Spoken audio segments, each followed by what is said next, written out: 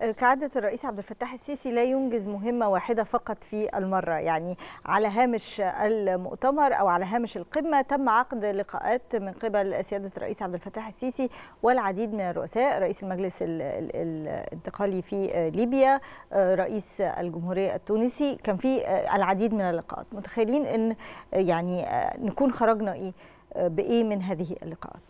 أه أستاذ منى اللي حضرتك قلتيه في منتهى الدقة دائما لقاءات السيد الرئيس الخارجية بتحمل مجموعة من الملفات الرئيسية. الملفات تتعلق ب يمكن محور الزيارة. هذه المرة القضايا الإفريقية والمساعدات الأوروبية للقارة الإفريقية والوصول إلى معدلات الاستثمار المطلوبة لتنمية القارة الإفريقية. إحنا بنتكلم على 150 مليار يورو سيتم تخصيصهم في الفترة القادمة لتنمية القارة الإفريقية وزيادة الاستثمارات فيها. آه لكن دائما السيد الرئيس بيحرص على آه عرض الجهود التنموية اللي تمت في الدولة المصرية وده بيتم من خلال إصحاب مجموعة وزراء المجموعة الاقتصادية عرض التغيرات التي حدثت على الأرض خاصة في مناطق الاستثمار اللوجستي في الدولة المصرية سواء في منطقة آه قناة السويس أو نعم. في العاصمة الإدارية أو في العالمين وعرض الإنجازات التنموية التي تمت على الأرض وتمهيد البنية الأساسية المصرية لتقبل هذه الاستثمارات في المستقبل بما يوفر الحضانة اللازمة لنمو الاستثمارات. الملف الثاني دايما سيادة الرئيس بيكون حاضر معاه ملف القضايا التي هي على اشتباك مع الأمن القومي المصري، بالطبع القضية الليبية، القضية السودانية، القضية السورية، القضية اليمنية.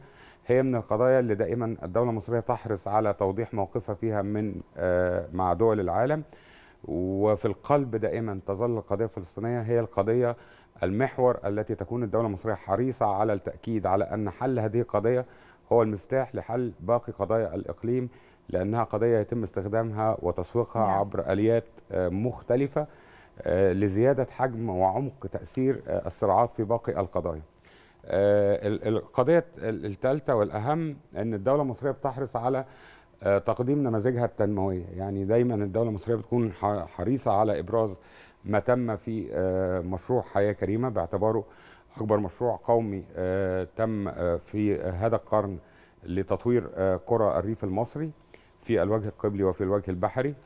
القضية الرابعة اللي الدولة المصرية بتهتم بها الحقيقة حقوق الإنسان والدولة المصرية في هذا الإطار بتهتم أن هي توضح للعالم حق السيادة وحق الندية وأنه لا غير مسموح التدخل في شؤون الدولة الوطنية بأي حال من الأحوال. مظبوط. آه وحجم الإنجاز الذي تحقق في الدولة المصرية في الفترة الأخيرة عبر إطلاق الاستراتيجية الوطنية الأولى لحقوق الإنسان. وما تتضمنه هذه الاستراتيجية من ضمانات كافية آه لحقوق الإنسان المصري وفقا للتقاليد والثوابت المجتمعية المصرية بما يكفل حياة كريمة بالفعل لكل مواطن مصري إذا تم التعامل وإذا كانت هناك جدية خالصة ورغبة في التعاون من قبل دول العالم واحترام لسيادة الدولة المصرية التعاون ينبغي أن يقوم على هذا المستوى. من التفهم لثقافات الدول الأخرى ولشعوب الدول الأخرى وللظروف التي تمر الدول الأخرى بها. عظيم. الملف الخامس ملف الإرهاب وده ملف الدولة المصرية معنية دايما. طبعا. بأن هي تعرض آه لإنجازاتها فيه لأن هم دول كانوا أهم تحديين رئيسيين قدام الدولة المصرية التنمية والإرهاب. وكيف استطاعت والاثنين كانوا مرتبطين ببعض بشدة. وإزاي إن هي وهي بتحقق النجاح وتدحض الإرهاب تمكنت من تحقيق التنمية وتمكنت أيضا من وقاية الطرف الأوروبي الشريك الرئيسي نعم. للدولة المصرية وللقارة الأفريقية من خطر الهجرة غير الشرعيه عظيم